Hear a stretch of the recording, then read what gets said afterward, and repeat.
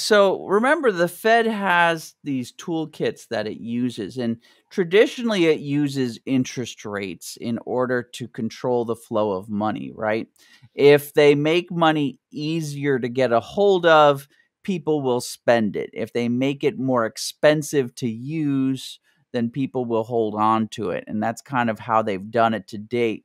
Now, for, uh, you know, up until the last Great Recession around 2008, they never used this other tool, which has gotten the name called quantitative easing.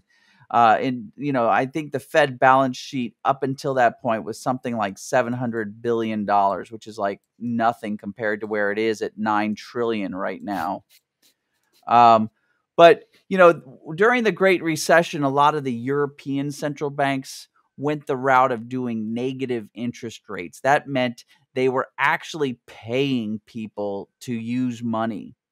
Um, and our Fed decided that that was not going to be a smart policy, that it was actually better to not keep your money in the bank. They were actually paying you to take your money out of the bank. That's what a lot of the European banks were doing. That's whenever you hear the word negative interest rates, that's what they're doing. They're basically saying, we're going to give you money um, and if you store it in the bank, we're actually going to charge you. We're not going to give you interest. We're going to charge you for putting your money in the bank.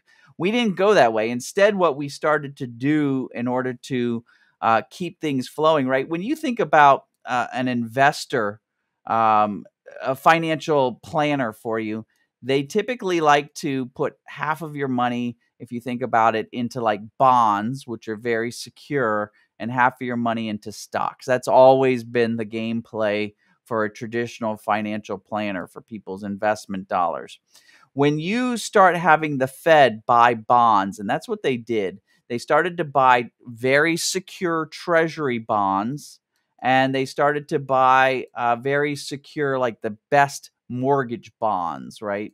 And by doing that, they made bonds really like not good at giving interest, right? They made the bonds by them buying them. There was such like this demand by the by the Federal Reserve for the bonds that they did started to not pay any interest rates. And so that caused the the financial planners to kind of skew people's portfolios and all of this extra money that would have gone into bonds was now going into more riskier investments like stocks. And that explains why Wall Street's at these all-time highs. I mean, ever since 2008, you know, the Dow has gone from like 8,000 up to 28,000. It's got, gotten like a, a three or four fold increase. And that's because all this money that the Fed is putting into bonds is causing regular investors to be attracted to thing and it's gotten so crazy. So you can look at that they continued that bond buying after the um after the great recession until about 2014 where they finally uh, cut off the spigot. And then when they said they were going to start to buy things back and when they were going to start to get rid of this cash they were going to you know, sell these bonds and sell these mortgage stuff. They were going to put them back out on the market. Wall Street freaked.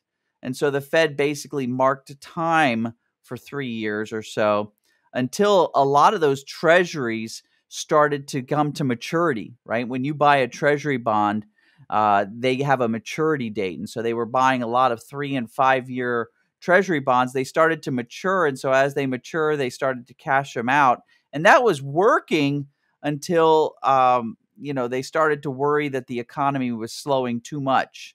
Uh, that was under the Trump administration, and so they started to do just some gentle buying again of these securities to get people back interested in more risky investments.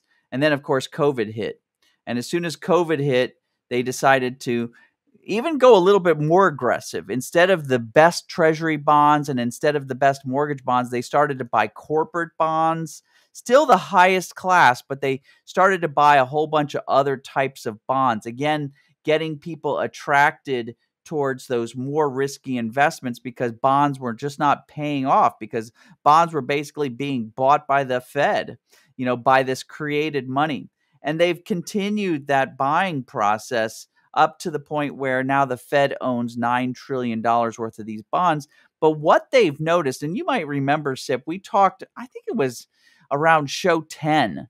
I know we're on show 21 now, but around show 10, we talked about these SPOQ, the, the SPACs. And we also were talking about NFTs and crypto. I mean, at this point, there is so much money, and the traditional investments are so not worth anything. Nobody's interested in them.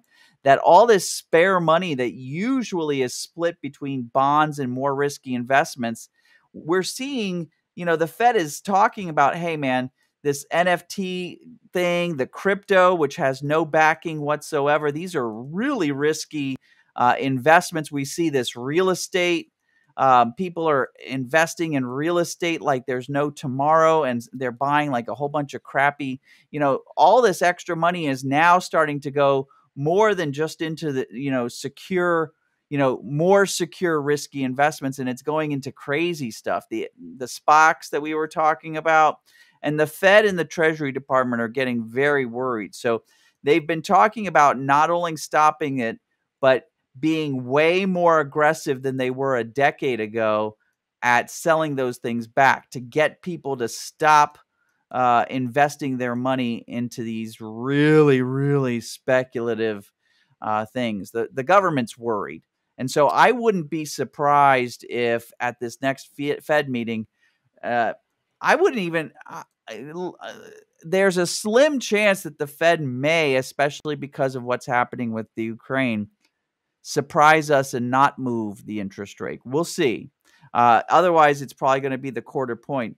But I am going to be reading in between the lines about this quantitative easing to see if number one, they stop it, stop buying, and number two, issue some sort of timeline for selling back because I have a feeling that by 2030, you know, in just a short amount of time, they're going to want to get away, get a, get get rid of about a third to even half of this $9 trillion, bring us back to this level, I think.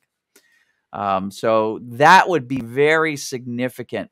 And that means that, man, you better be brushed up on shorting and buying your put options because um, if you're just all about going long and buying things like crypto, buying things like re- real estate, buying NFTs, I think you're going to be on the losing side of the equation.